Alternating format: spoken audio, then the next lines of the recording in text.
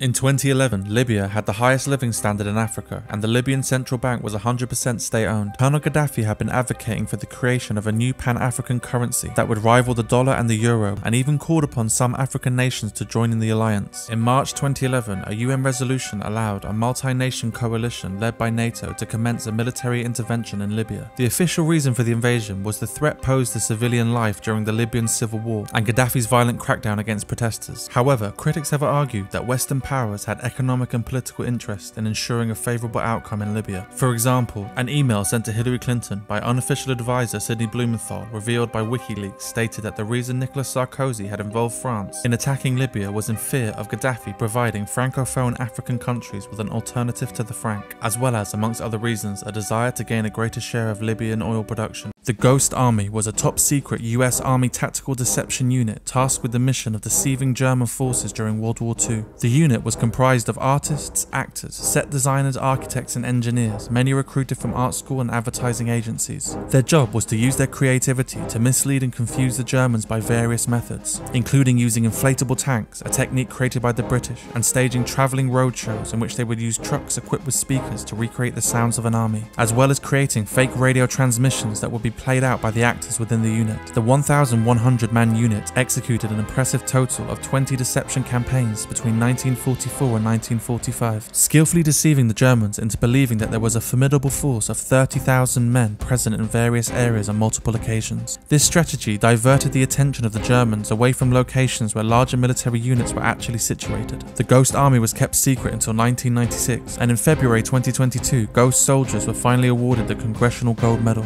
Crazy facts about dictators. In 1988, Colonel Gaddafi smashed through the gates of a prison using a bulldozer to free 400 prisoners. According to United Press International, Gaddafi announced on a national broadcast that he vowed to batter down the prison gates and turn prisoners loose, some of which had even plotted to assassinate him. While standing on the bulldozer, Gaddafi told the crowd, Today is the day of freedom, the day on which chains should be destroyed and prisons and walls should be demolished. Gaddafi stated that in his view, the prisoners who tried to assassinate him were not traitors, and the charge against them is lack of knowledge and not treason. In 1977, after the United Kingdom stopped diplomatic relations with Uganda following Idi Amin's brutal and chaotic rule, Amin declared that he had defeated the British and gave himself the title CBE, Conqueror of the British Empire. In 1962, a 69 year old Chairman Mao started a sexual relationship with a 14 year old girl. After the girl told her parents of the abuse, her father wrote an angry letter to Mao. The letter was later returned by a postal worker who warned the girl's father that if Mao received the letter, he might be sentenced to death. Crazy facts about dictators.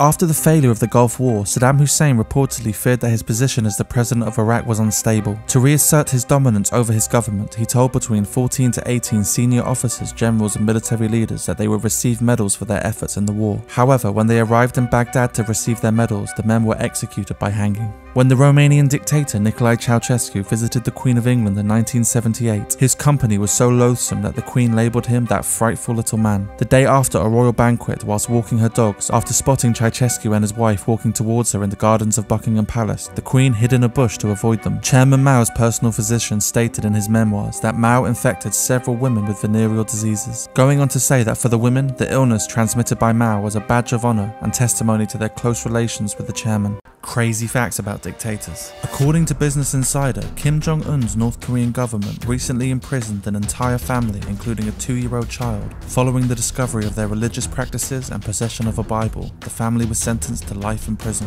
In 1958, Mao Zedong ordered the people of China kill sparrows because they ate too much grain, which he believed was affecting the economic development of his country. As sparrows also eat insects, as the sparrow population decreased, it caused a locust epidemic that ravaged crops, which was a contributing factor that led to a famine that caused the deaths of 45 million people. Colonel Gaddafi commissioned the production of a car that he had a hand in designing, which was unveiled in 1999, known as the Libyan rocket. Libya claimed that it was the world's safest car and could run 100 miles on a flat tire. It also boasted a pointed front, which was supposedly designed so that during a head-on collision, the car would slide past the oncoming vehicle. However, that safety feature would only work if the car was in a head-on collision with another Libyan rocket. Crazy facts about dictators. When Saddam Hussein's psychotic son, Uday Hussein, was the head of the Iraqi Olympic and Football Committee, there were allegations that he ordered the torture of multiple Iraqi sportsmen. According to Time magazine, in 2003, after the invasion of Iraq, a medieval style torture device known as an Iron Maiden was found 20 yards away from the Iraqi Football Association building. The device was 7 foot tall with a spike covered interior. The spikes were reported when examined to look as if they had been worn away from use. At the 1988 Arab Leaders Summit in Algiers, Colonel Gaddafi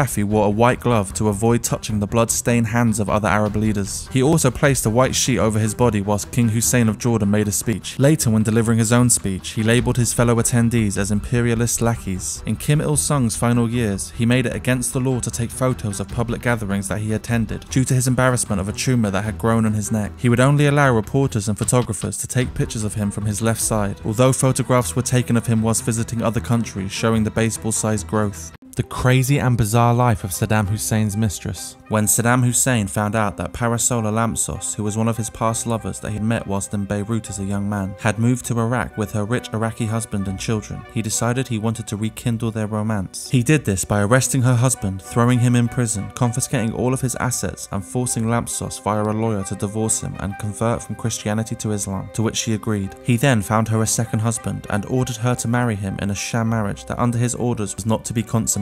He then gave Parisoula a job as a private secretary to the Brazilian ambassador in Iraq, but ordered her to spy on him. Saddam and Parisoula then proceeded to have a two-year affair. In 1974, Parisoula fell pregnant with a child, however, it was not Saddam's. The sham marriage had, against Saddam's wishes, been consummated, and Parisoula ran away to Greece. Although many years later, she would eventually become Saddam's mistress once again.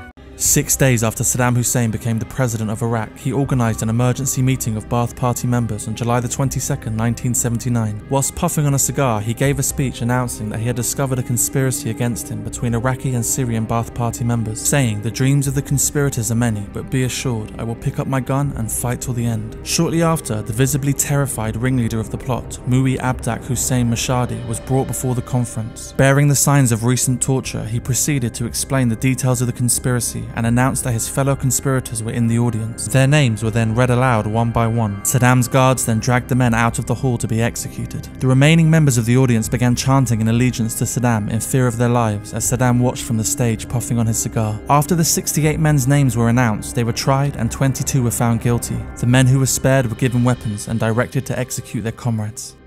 This serial killer, known as Dr. Satan, may have killed up to 60 people during World War II. Dr. Marcel Petiot claimed to be able to help people trying to escape German occupied France by smuggling them to Argentina using an underground network for the price of 25,000 francs. But after his accomplices brought the victims to him, Petiot would inform them that Argentina had a strict protocol against disease, and then, pretending to administer a vaccination, he would inject them with cyanide, before stealing their valuables, disposing of their bodies, and taking their money. Eventually, the Gestapo found out about Petiot's organization and sent a man to infiltrate the network. However, after he disappeared, they arrested Petiot and his accomplices. The men were tortured for confessions, but as the smugglers' network never actually existed, there were no names to give and no proof to convict the doctor, who was then released. Then, in 1944, a neighbour complaining of a bad smell and smoke coming from Petiot's home led police to discover charred human remains in the doctor's basement. After evading capture for seven months, Petiot was eventually caught, charged with 27 murders and executed in 1946. What happened to homosexuals in Nazi Germany? Homosexuality had been illegal in Germany under paragraph 175 of the German Criminal Code since the late 19th century. However, in 1933, after Hitler came to power, the Nazis carried out a campaign against homosexuals with much harsher enforcement, as they considered the elimination of homosexuals in Germany as one of the party's main priorities. A series of arrests were made on the basis of denunciations by other citizens and information gathered during the interrogation of other suspects. Between 1933 and 1945, around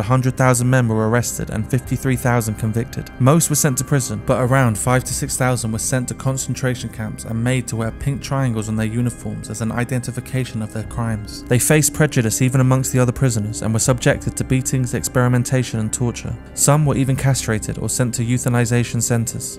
Crazy facts about dictators. In 2009, according to a state owned North Korean newspaper, an unnamed French fashion expert declared that Kim Jong il had become a worldwide style icon, and his fashion sensibilities had become famous the world over. The paper stated that the grey suit worn by the dictator had set the fashion world on fire, saying that the image of the great general, who is always wearing the modest suit while working, leaves a deep impression on the people's mind in the world. To sum it up, that is because his image as a great man is so outstanding. After the Nazis invaded Poland in 1939, the Polish resistance wanted to learn more about how the mysterious new German prison camps that had been set up throughout the country were being run. And so in 1940, to help gather more information, a Polish resistance fighter named Witold Pilecki was given the opportunity to volunteer to infiltrate a camp that was of particular interest, a camp named Auschwitz. Whilst using the identity documents of Thomas Serafinsky, a man who had mistakenly been assumed to be dead, Pilecki allowed himself to be arrested by the Nazis before he was sent to Auschwitz. Whilst in the camps, he organized an underground resistance that smuggled information out of the camps as well as smuggling medication and food inside. Over the course of the next two years, Pilecki witnessed Auschwitz turn from a prison camp into an extermination center and managed to smuggle information about the mass killings out of the camp on a regular basis. In 1943, with the Nazis hot on the trail of the underground resistance, Pilecki managed to escape the camps by overpowering a guard, cutting the alarms, and using a duplicate key. He compiled a full report of his time in the camps, but sadly, nothing was done about the information he provided.